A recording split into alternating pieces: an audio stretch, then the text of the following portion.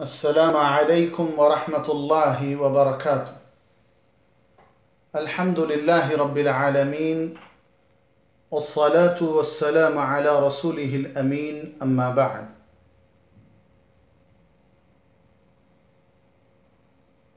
ప్రియులారా ప్రతి ఒక్కరికి తన ఇల్లు అన్ని రకాల ఇబ్బందుల నుండి కష్టాల నుండి బాధల నుండి సురక్షితంగా ఉండాలి అన్న కోరిక ఉంటుంది. కొంతమంది తమ ఇంటి తలుపులపై హాదా మిన్ ఫద్లి రబ్బీ అని వ్రాయించుకొని మేము సురక్షితంగా ఉంటాము అని భావిస్తూ ఉంటాం. మనము గనక మన ఇల్లు బాధల నుండి ఇబ్బందుల నుండి సురక్షితంగా ఉండాలి అని అనుకున్నట్లయితే మన ఇళ్ళను శ్మశాన వాటికలుగా మనము మార్చకూడదు.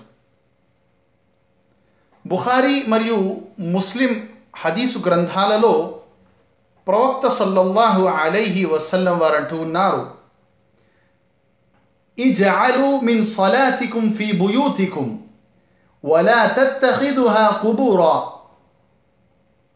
మీ నమాజుల్లో కొన్నింటిని మీ ఇండ్ల కొరకు ప్రత్యేకించుకోండి.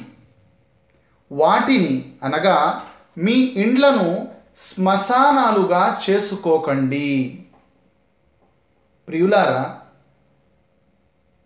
దీనికి మరొక అర్థం ఇంటిలో నమాజ్ చేయనట్లయితే ఆ ఇల్లు శ్మశానం వంటిది.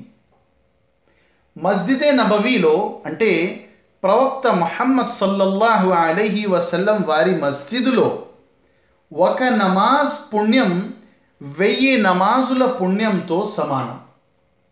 అయినప్పటికీ మహాప్రవక్త మహమ్మద్ సల్లల్లాహు అలైహి వసల్లం వారు నఫిల్ నమాజులు సహాబాలకు తన అనుచరులకు ఇంటిలో చదవమని చెప్పారు. అబ్దుల్లా బిన్ మసూద్ రదియల్లాహు తఆల అన్హు వారు ప్రవక్త సల్లల్లాహు అలైహి వసల్లం వారిని అడిగారు నఫిల్ నమాజ్ ఇంటిలో చేయటం ఉత్తమమా? లేక మస్జిద్లోనా? అని. ప్రవక్త సల్లల్లాహు అలైహి వసల్లం వారు అన్నారు నీవు చూడటం లేదా? నా ఇల్లు మస్జిద్కి ఎంత దగ్గరలో ఉందో?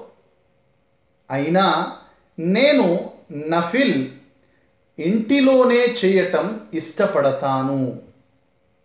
విధి చేయబడిన నమాజులు ఏవైతే ఉన్నాయో వాటిని కేవలం మస్జిద్లోనే జమాత్తో కలిసి సామూహికంగా నిర్వహించాలి. నఫిల్ నమాజులు ఏవైతే ఉన్నాయో వాటిని తమ తమ ఇండ్లలో చేయటం ఉత్తమం ప్రియులారా. ఉమ్మె సలమ రదియల్లాహు తాల అన్హా వారు ఉల్లేఖిస్తూ ఉన్నారు. ఆమె అంటూ ఉన్నారు ఒకసారి మహాప్రవక్త మహమ్మద్ సల్లల్లాహు అలైహి వసల్లం వారు అసర్ నమాజ్ తరువాత నా ఇంటికి వచ్చారు. రెండు రకాతులు నమాజ్ చేశారు. నేను అడిగాను దానికి ఆయన అన్నారు జొహర్ తరువాత రెండు రకాతులు తీరిక దొరకని కారణం చేత చేయలేకపోయాను నేను దానిని పూర్తి చేశాను కజా చేశాను అని అన్నా. అయితే ఈ కజా కేవలం ప్రవక్త మహమ్మద్ సల్లల్లాహు అలీహి వసల్లం వారి కొరకే ప్రత్యేకం.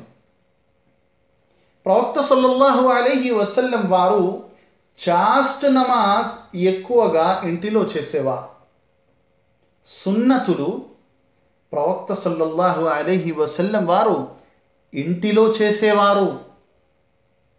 ముస్లిం యొక్క హదీసులో విశ్వాసుల మాతృమూర్తి ఆయిషా సిద్దీకా రది అల్లాహు తాల అన్హా వారు ఉల్లేఖిస్తూ ఉన్నారు.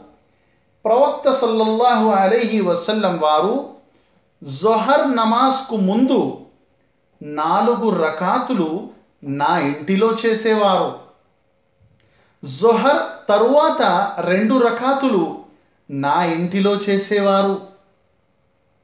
మగరిబ్ తరువాత రెండు రకాతులు నా ఇంటిలో చేసేవారు. ఇషా తరువాత రెండు రకాతులు నా ఇంటిలో చేసేవారు. మరియు ఫజర్ నమాజ్కు ముందు రెండు రకాతులు నా ఇంటిలో చేసేవారు. సుభానుల్లా. శిక్షణాపరంగా చూసినట్లయితే ప్రియులారా ఇంటి వాతావరణం పిల్లల శిక్షణలో పెద్ద పీట వేస్తుందండి. ఇంటి పర్యావరణం వాతావరణం ఎంత బాగుంటుందో పిల్లల శిక్షణ అంతే బాగుంటుంది. పిల్లల మనస్సు చాలా సున్నితమైనది ప్రియులారా. వాళ్ళు తమ పెద్దల ప్రతి మాటను స్వీకరిస్తారు. దీనివల్ల ఈ నమాజుల వల్ల మరొక లాభం ఇళ్ళలో ప్రియులారా శుభాలు కారుణ్యాలు వర్షిస్తాయి. సుభానల్లా ప్రవక్త సల్లల్లాహు అలీహి వసల్లం వారంటూ ఉన్నారు. సహీ ముస్లిం యొక్క హదీసులో فإن الله جاعل في بيته من صلاته خيرا నిస్సందేహంగా అతని నమాజ్ మూలంగా అతని నమాజ్ కారణము చేత అల్లాహ్ రబ్బుల్ ఆలమీన్ అతని ఇంటిలో శుభాన్ని అవతరింపజేస్తాడు అల్లాహు అక్బర్ అల్లాహు అక్బర్ మనలో ఎందరూ నఫిల్ నమాజులను ఇంట్లలో చదువుతూ ఉన్నామండి. ఒక్కసారి ఆలోచించండి. నమాజ్ చేయడం వల్ల ఖుర్ఆన్ పారాయణము జరుగుతుంది. ఖుర్ఆన్ పారాయణం వల్ల కారుణ్య దూతలు అవతరిస్తారు ప్రియులారా. ఖుర్ఆన్ పారాయణం వల్ల శైతాన్లు పారిపోతాయి. ఇంటిలో నమాజ్ చేయటం వల్ల స్మరణలు చేసే వీలు కూడా ఉంటుంది. ముస్లిం యొక్క హదీసులో ప్రవక్త సల్లల్లాహు అలైహి వసల్లం వారు అంటూ ఉన్నారు ప్రవక్త వారు అన్నారు مثل البيت الذي يذكر الله فيه والبيت الذي لا يذكر الله فيه مثل الحي والميت الله أكبر الله أكبر ప్రవక్త సల్లల్లాహు అలీహి వసల్లం వారు అంటూ ఉన్నారు ఏ ఇంటిలోనైతే అల్లాహ్ స్మరణ జరుగుతుందో మరియు ఏ ఇంటిలోనైతే అల్లాహ్ స్మరణ జరగదో ఆ రెండింటి ఉపమానం సజీవము మరియు నిర్జీవము వంటివి అని అన్నారు. స్మరించినట్లయితే ఆ ఇల్లు సజీవం సజీవం వంటిది. అంటే ఏ ఇంటిలోనైతే స్మరణ జరుగుతుందో ఆ ఇల్లు సజీవమైనది. ఏ ఇంటిలోనైతే అల్లాహ్ యొక్క స్మరణ విక్ర్ జరగదో ఆ ఇల్లు నిర్జీవం వంటిది. ప్రియులారా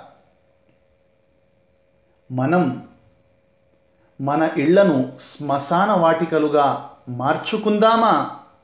లేక అల్లాహ్ యొక్క కారుణ్యాన్ని మన ఇండ్లపై వర్షింపజేసుకుందామా అనేది మనలో ప్రతి ఒక్కరము ఆలోచించాలి. కాబట్టి అల్లాహ్ సుబహానహు వతఆల మనలో ప్రతి ఒక్కరికి ఖుర్ఆన్ మరియు సహీ హదీసులను అర్థము చేసుకునే భాగ్యాన్ని ప్రసాదించుగాక అలాగే ఇండ్లలో మన స్త్రీలు కూడా నమాజులు ఆచరిస్తూ ఉండాలి.